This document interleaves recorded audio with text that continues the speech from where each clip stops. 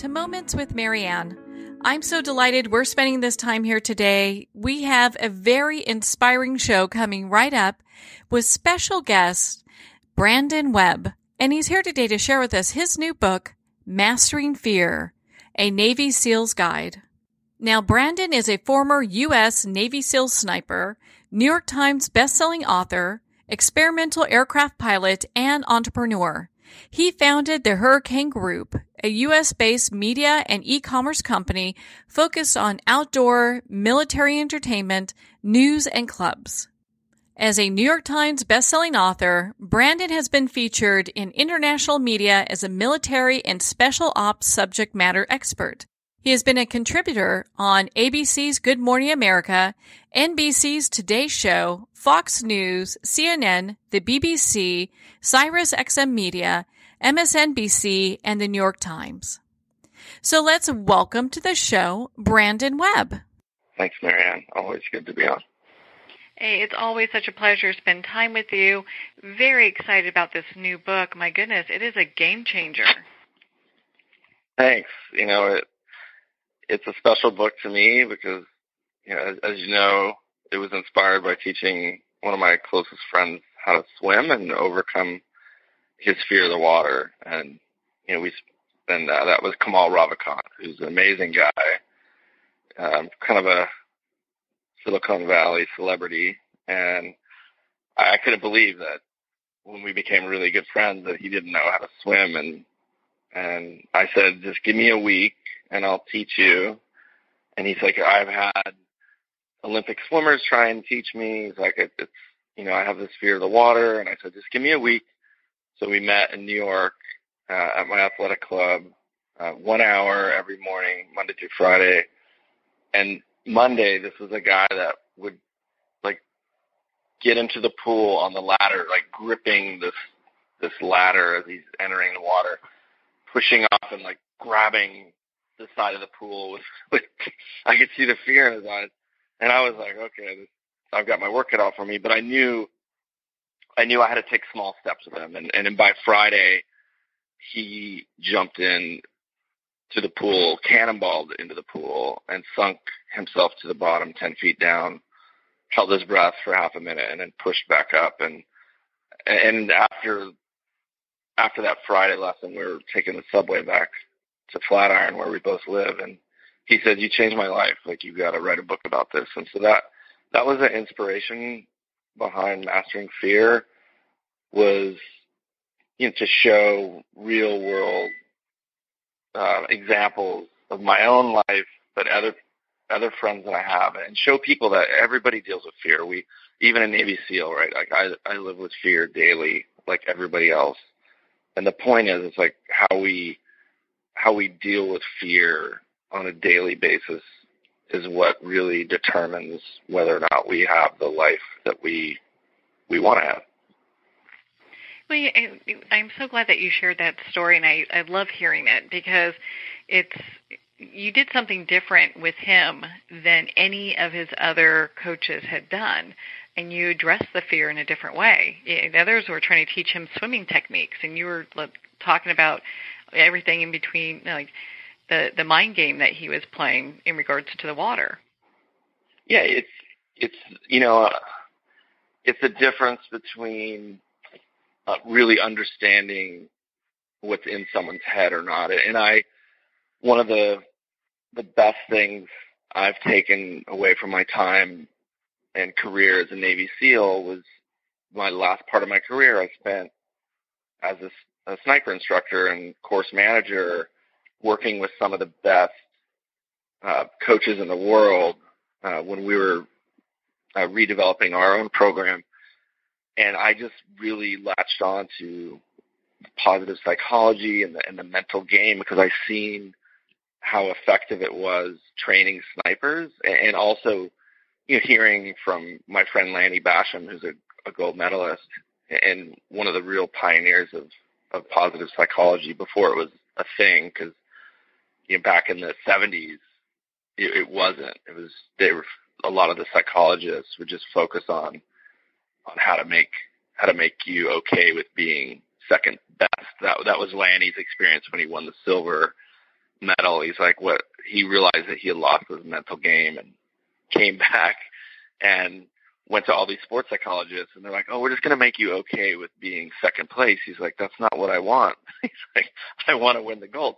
So he went and spent a year surveying all these Olympic gold medalists and found that there was these fundamental traits they all shared.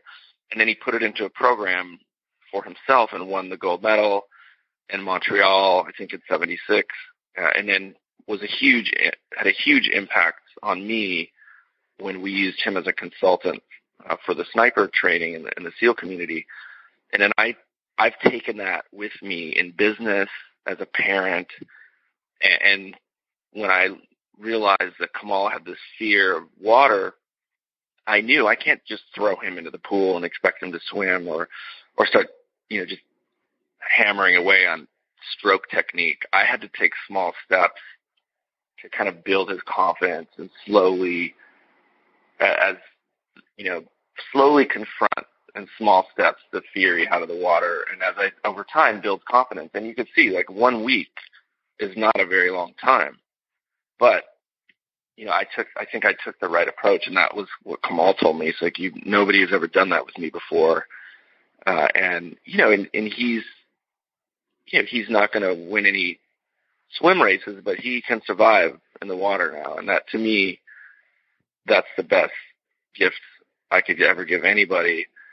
And I remember a month ago he called me. He was on a some type of retreat in Bali, and he's like, "I'm sitting in this in the jungle with a in a villa doing cannonballs in the pool every morning. Just so grateful for for your friendship and for you teaching me how to swim because you know this is a guy that would be nervous getting invited to like a, a part like a house party in the Hamptons where there's swimming involved, and now he's he's fine with it. Yeah, what's interesting is you've taken something that probably comes naturally to you. I mean, when you talk about that, even you get afraid. I mean, most people know you as a pretty badass kind of guy. You know, you're. You know, I mean, I had badass parents. I had bad. I had a badass mom who uh-huh. always letting me kind of explore and and do some really cool things. Like I, I talk about the story in the book. My mom is the one that pushed me to take this job as a 12 year old kid on a scuba diving boat. You know, this uh, boat uh, out of Ventura Harbor in California would take sport divers out to the islands on you know two three day trips. And she said, "Hey, they need a kid for the summer to help out and just work for tips, and they'll teach you how to dive." And so I did it, and by 13, I remember I was certified, had a handful of dives under my belt. But one of my scariest childhood memories was getting woken up at two in the morning uh, by Captain Mike. We all, all the the crew slept in the the top of the the boat called the wheelhouse with our bunks. And Captain Mike woke me up out of a dead sleep, and he says, "Hey, the the anchor's stuck, and we have to move to calmer water so the passengers can sleep. Get your wetsuit on. You're going to go down and, and dive on the anchor." And I had done that in the daytime, mm-hmm. but we were at this island that was a sea lion uh, seal habitat. And if you ever watch Shark Week, on Discovery Channel, you know what eats sea, sea lions, great white sharks.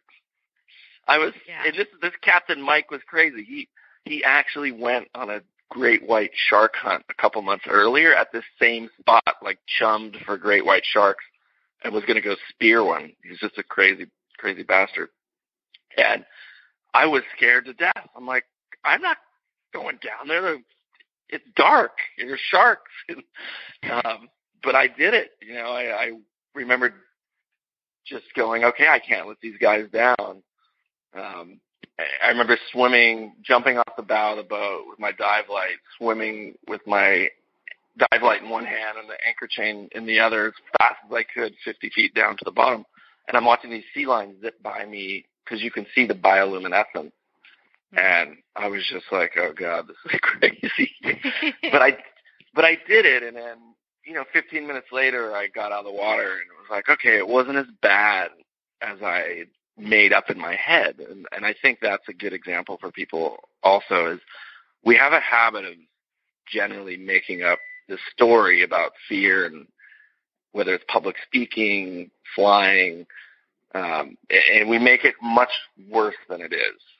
And, and that's a, a lesson learned too. And again, back to my, my parents and my mom, I'm just, just really grateful that I had, uh, you know, parents that were adventurous and would let me and encouraged me to do things like, like take a job like that as a, as a 12 year old kid.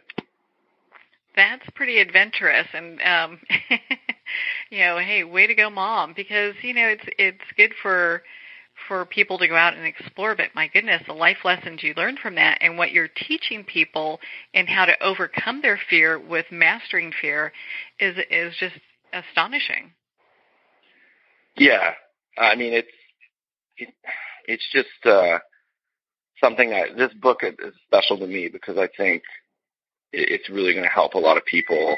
And I learned a ton writing the book myself because I said, okay, I had to really, you know, I used to be a, a master training specialist in the military and, and develop curriculum, and I essentially had to do that with mastering fear. I had to look at, okay, what are the steps and the system that I can put in place so people can can use that system to to deal with their fear, whether it's a small fear or or a big fear.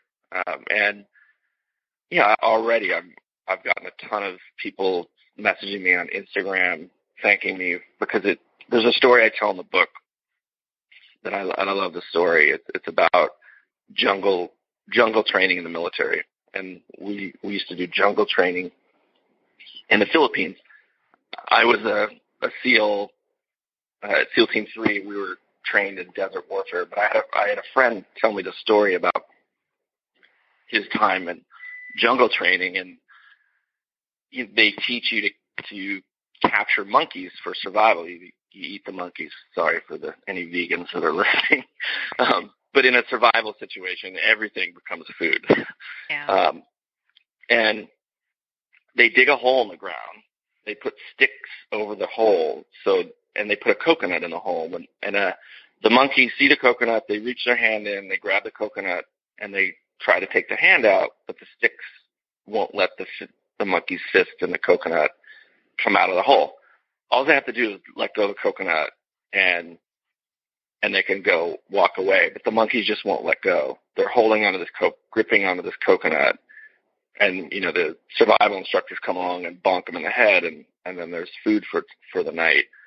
The the correlation is we all have our own version of the coconut, and we have to let go the coconut because a lot of times when you look at it as a coconut as fear, whether it's a bad relationship, a career that you're stuck in, a fear that's really holding you back in your life, um, you have to figure out what that is and, and let it go. And we all have the power to do that. We just have to make the decision, which I talk about in the book as well, to, to really decide to do something about it. Yeah, it's so important because people do hold on. I mean, I've done it. I mean, there are things I've um, I've been afraid of, but it's been interesting. You know, your book really went. I've been. Um, I really can see where your book helps a lot of people because there are parts of it that I was reading, and I'm. It's a book that you can reread and you grasp more information as you go. But it's helped me in my life you know and so I'm, I'm looking at this just you know daily fear and you talk about the just the inner dialogue of fear. You know is it really possible con- to control that?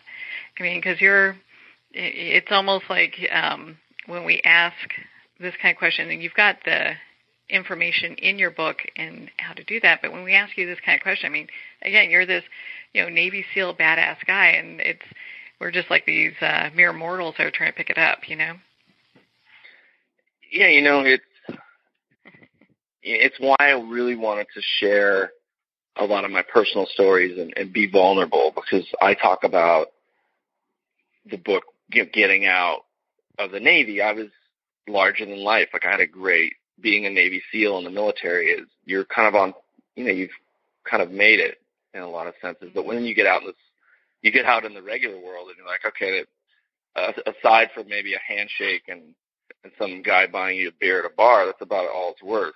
And so, you know, I got into my first business and learned a ton, but three and a half years later lost everything. and and then went through a a, divorce, which you know it was as good as divorces get. Um, I, I have a great relationship with with my kid's mom, but it was still tough. Like I went from being this Navy SEAL and running the top sniper course in the world to losing my entire life savings and owing people money. Um, you know, all of a sudden sitting in a house by myself, having to like have conversations with the neighbors on where's your where's your family.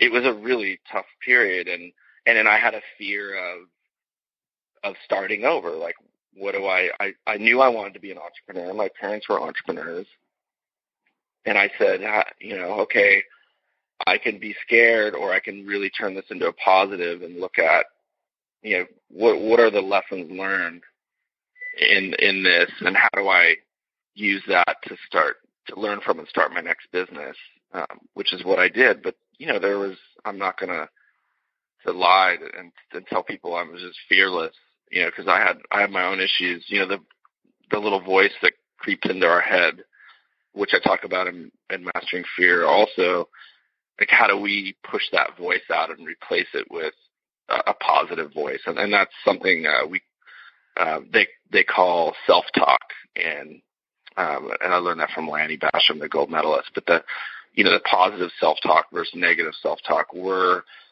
we're really our own worst enemies sometimes when it comes to that stuff. Uh, and and also one of the things that I learned was when we were teaching sniper students. Um, we Lanny said, "Look, you don't have to point out all the mistakes because when when somebody is begin a beginner, they don't know what they're doing wrong, and you pointing out all the mistakes, you're programming them for failure. He's like, just tell them what to do correctly, and so you translate that into your own head, and a lot of times we have to take take that same approach and and start talking to ourselves differently. So when I hear people say, "I'm not good at math," I'm an average golfer. I'm not good at public speaking. They're they're making this self declaration and putting this this self limiting factor on themselves. And you know, I talk about mastering fear. My friend James Altucher, who knew he had a he had an issue public speaking, and he said, you know what, I'm going to go take stand up comedy lessons. And this guy, I mean, I've I've spoken to a lot, hundreds of people before, and I get the fear of public speaking and how terrifying it could be. But I, I can't like imagine this guy James going in a comedy club in New York City and and ha- having the guts oh, wow. to get up there and just take take the audience because that is not a that's a hostile environment. Yeah, they're any. pretty brutal. yeah. yeah. But here's the guy that you know identified this fear he had and, and made a conscious decision to overcome it. I share a story like Betsy Morgan, who who's a good friend of mine. She was, the, I think, took over the CEO role from Arianna Huffington. She was the first kind of professional CEO at Huffington Post. She was had an amazing career at CBS eh, as a rising star, and she left CBS to go take this job at Huffington Post. Les Moonves, the guy in charge of all of CBS, pulled her into his office and he's like, I can't believe you're doing this. Who the hell is going to read the news on the internet? you know? and now look at where we're at, right? So it's just, yeah. you know, I try and try and feature a lot of real, real successful people in a variety of of careers and show people, look, we're we all deal with fears. It's a human. It it's part of our human makeup, and people that you would see, wow, like like astronaut Scott Kelly, who I talk about in the book, was afraid as a Navy test pilot, was afraid that he wasn't good enough to apply for NASA. Um, so it just shows it shows everyone that hey, look, we're all we're all in this life together. Um, but the system I made, I, I really hope will will help a lot of people. It, it's a very good system. And again, like I said, it's helped me. You know, in in your book, you talk about how important it is that we ask for what it is that we want. And I'd love for you to kind of expand on that a little bit because I think a lot of times people get into this place where they just don't they don't even think about doing that. Yeah, that's an important point that you bring up, and it was when I was writing the book, I, I didn't know whether to put that in the front or the back of the book. Um, and it ended up kind of being in, in the back because I think it was, it's an important, it's so important. And, and many books have been written about this subject, right? And it's like, what is the why? Like, what are you doing this for? Um, it's, it's a simple but important question because, and I don't think a lot of people spend enough time thinking about it. I I remember I had a young young man in New York message me the other day about he said I I I've applied for the Navy, I want to be a SEAL, and then I just got this this job offer, a promotion. He's like, I don't know what to do and I was like I was like, wait a minute. I can't possibly throw myself into your situation and and try and trace back your 24 years of life and, and experience and, and make that decision for you.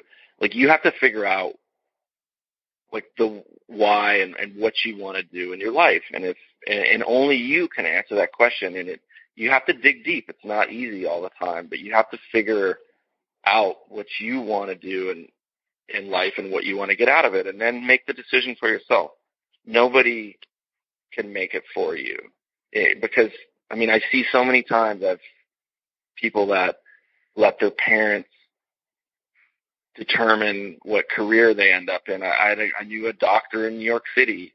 I mean, imagine the, the years and hard work it takes to become a doctor in America and then realize two years on the job that you hate what you do. Like that's, mm-hmm. I mean, what a, what a terrible waste of time. And so it's, it's something it's an important subject, and I don't think a lot of people spend enough time thinking about, especially when it when it comes to to career. A lot of these things that are that sometimes fears is being an anchor and holding us back. Um, so that's that's why I really talked about it because I it's like I see so many young people they drifting and they don't have they just didn't spend enough time thinking about what they want in the long term. And, and it will change too. Like I've changed careers twice. I was, I knew I wanted to be a Navy SEAL. After that wasn't fun anymore. I, you know, decided to be an entrepreneur. Um, so it's, you know, life changes, but I, I think thinking about what you want in the future whether it's a relationship, career, is super important. And then you can kind of identify the fears that are are getting in the way. Um, but I hope that I hope that answers your question. Oh, it definitely does. You know, it's interesting, and I'm so glad that we're taking the time to talk about this. And I think a lot of people, when they um, look at the book, they go, "God, Navy SEALs guy, that's great," you know. And so it, it helps them to also understand that they, these are tangible um, processes that they can put into their life today that anyone can use. Children, adults, you know, um, coworkers.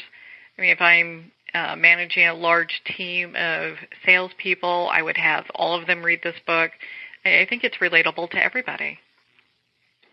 Thanks. I really, I, I'm pushing the publisher to, for us to do a young adult version of this because, you know, as a, as a as a father to three amazing kids.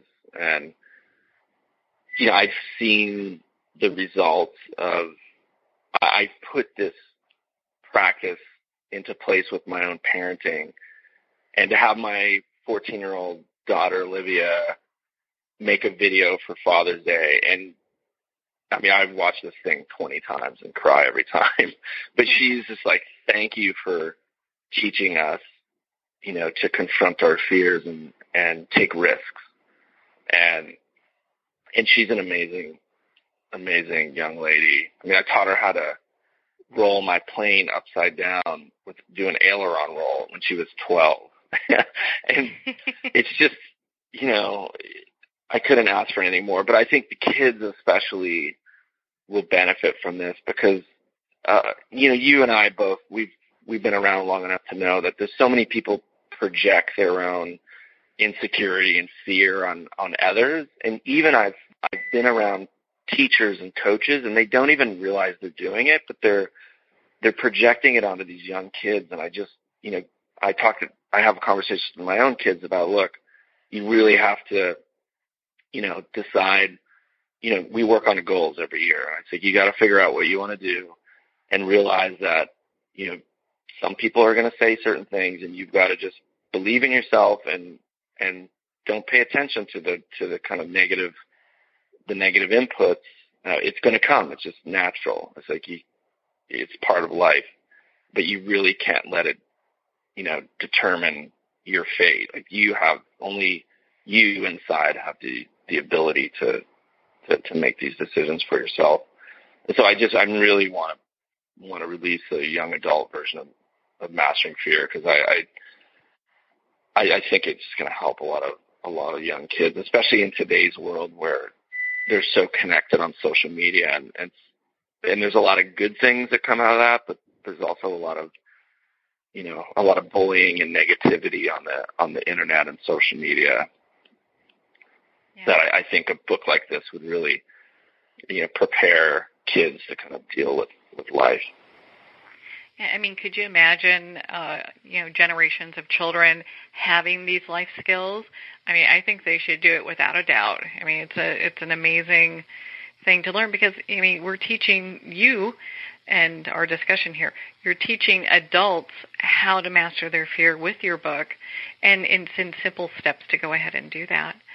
Well, and so Brandon, if people are looking to connect with you and learning more about the book, where they can purchase it and you know be part of your community, where could they go?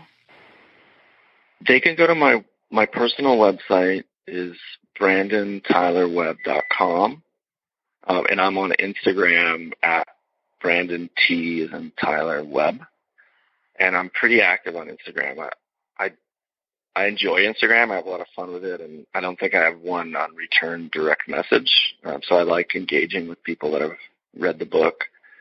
Um, but that's that's where they can find me. I'm I'm happy to, um, like I said, have if people want to reach out to me on Instagram. Um, I love hearing the stories and kind of trading uh, trading stories on there as well. Oh, that's a fabulous place to connect. I know I like following your Instagram. Um, I'm also connected with you on social media, and I highly suggest that our listeners do the same. You know, Brandon, thank you so much for taking the time to be on the show with us here today. Of course, anytime, Marianne. It's always a pleasure. Well, thank you again, Brandon. I so appreciate not only all the service you've done for our country, but of course being able to spend this time with you and to talk about your new book, Mastering Fear, a Navy SEAL's Guide. Again, you can pick up Brandon's book at Barnes & Noble, Amazon, all major retailers, and of course, indie bookstores.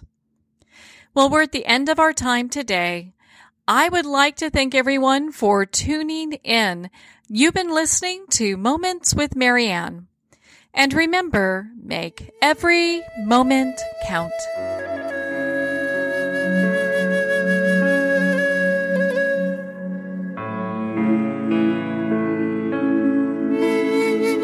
In a single moment, your life can change. Moments with Marianne is a transformative hour that covers an endless array of topics with the best of the best. Her guests are leaders in their fields, ranging from inspirational authors, top industry leaders, and business and spiritual entrepreneurs. Each guest is gifted and a true visionary, a recognized leader in her own work, and while teaching others to develop, refocus, and grow, Marianne will bring the best guest and sometimes a special surprise. Don't miss this. You never know just which moment will change your life forever. Moments with Marianne airs every Thursday, Friday, and Sunday at 8 p.m. Eastern, 6 p.m. Mountain Time. Make sure to tune in and visit momentswithmarianne.com for more information.